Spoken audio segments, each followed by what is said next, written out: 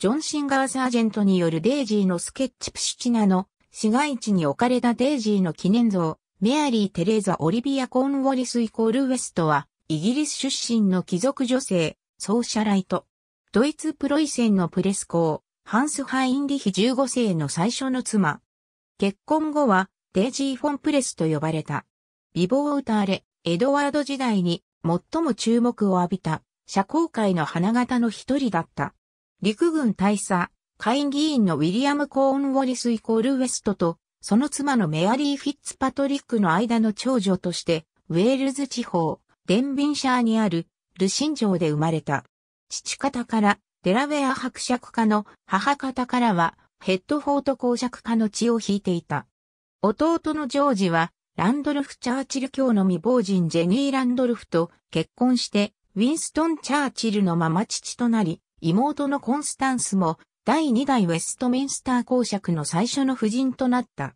1891年12月8日にロンドンにおいてシュレージエン地方の大貴族プレス公爵家の後継ぎ息子であるハンス・ハインリヒ15世と結婚した。第一次世界大戦が始まる前、デイジーは自分の居城であるフィルステンシュタイン城とプレス城に大勢の紳士危険を招いて二つの城を国際的な社交の中心地にした。デイジーは当時の大勢の王侯貴族や有力者と友人であり、ドイツ皇帝ビルヘルム2世もイギリス王エドワード7世もデイジーの招待状を受ければ必ず彼女の城に赴き、厳選された招待客たちと狩猟パーティーを楽しんだ。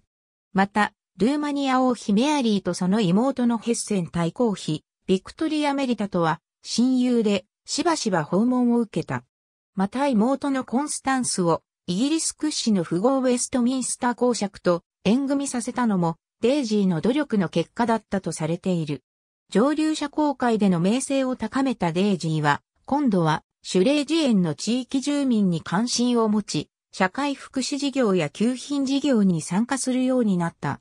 第一次世界大戦が勃発すると、敵国イギリス出身の公爵夫人はフィルステンシュタイン城の女主人として、社交を続けることを断念せざるを得なくなり、推進中だった社会改良事業などからも手を引いた。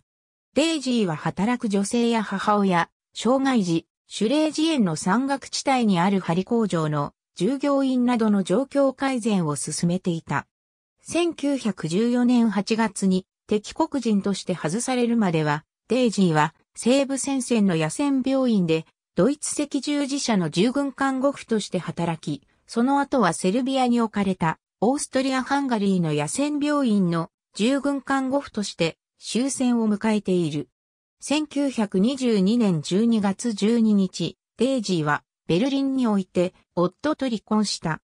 その後は慢性的な病気と社会的な孤独に苦しみ、1943年に極貧の中でバルデンブルクにおいて死去した。夫、ハンス・ハインリヒ15世との間に3人の息子を設けた。